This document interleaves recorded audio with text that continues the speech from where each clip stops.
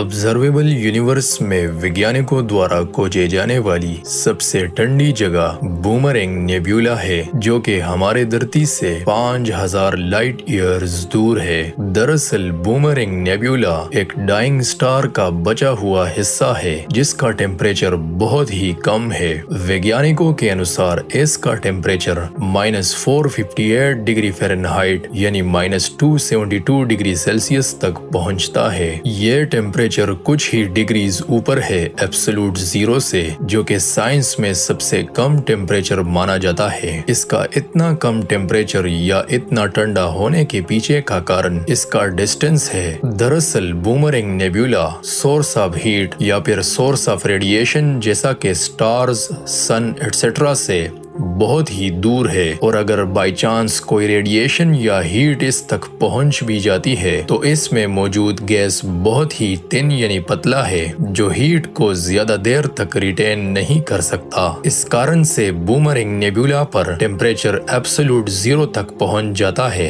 वैज्ञानिकों का ये भी मानना है कि बूमरिंग नेबुला हमारे ब्रह्मांड में सबसे ठंडी जगह है, लेकिन इसमें डाउट है। जैसा कि हमने केवल पाँच प्रतिशत ही डिस्कवर किया है पूरे ब्रह्मांड को। तो ऐसा हो सकता है कि ऐसे और कई जगह मौजूद हो हमारे ब्रह्मांड में, जो कि बूमरंग नेबुला से भी ज़्यादा ठंडी हो। लेकिन एंड ये है कि अभी तक की खोजे जाने वाली सबसे ठंडी जगह बूमरंग नेबुला है।